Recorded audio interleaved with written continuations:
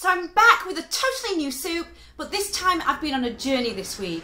I've been exploring the world of whole foods, vegetarian and vegan recipes. So I'm going to show this really simple, classic farmhouse country vegetable soup inspired by one of Morrison's recipes I've seen recently online. You can literally add any herbs and spices you want. It's brilliant. So just go with the flow and adapt it to your own taste buds. This soup is so filling and it is a perfect hunger suppressant.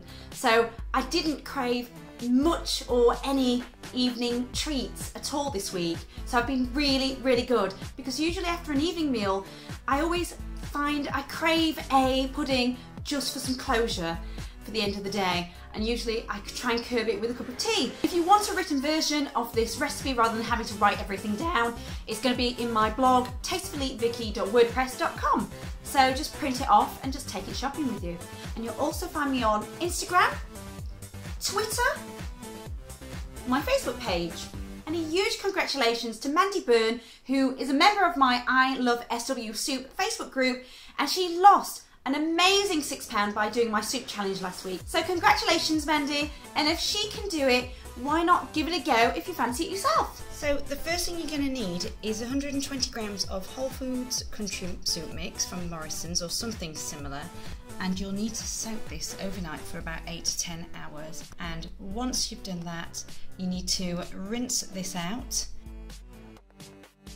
So now we need to add some boiling water to the pan and we're going to bring this to boiling point and then we're going to lower it to simmer for about 50 minutes. Once the country soup mix is cooked and drained, you need to pour this into your soup maker. So you're going to need some Frylight, seasoning, a deep based pan if you've got one, or you can use a soup maker like I am. And I'm going to saute some crushed garlic, one leek, which mine is 150 grams. I have 150 grams of pink onion. You can use whatever onion you like.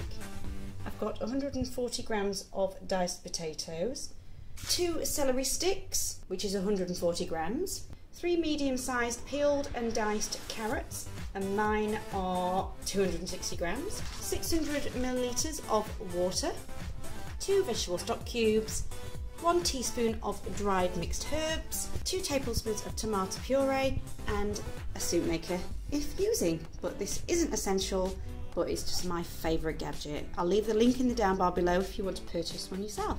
So you need to heavily spray your pan with fry light and put these ingredients in your pan. So we're going to saute all of this on medium to low heat, probably for about five minutes until the onions have softened. Now we're going to add all these three ingredients into the pan. Spray again with fry light.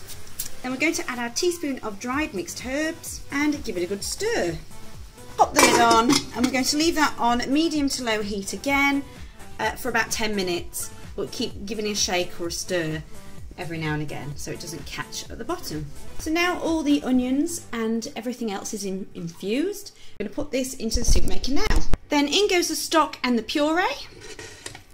And now the water. And it perfectly reaches the top maximum line. Then pop the lid on, press mode. You want it to be on chunky and then press select and it'll be done in 28 minutes. So there you go. I'm absolutely loving this. It's so simple and it's really healthy with whole foods in there. And the rest of the soup that I've got left over has gone into my new soup mug. It's freezable, it's dishwasher proof, and it's microwavable. And it's got a little vent at the top. So uh, I'll leave the link in the down bar if you want something similar, but this is really cool. It's a really generous size. Just look at that hand and mug. You can buy bigger versions too. And don't forget, if you like what you see and you want to see more, give it a like and subscribe, and I'll see you in my next video, which will be next Friday every Friday. Thanks for watching. Bye!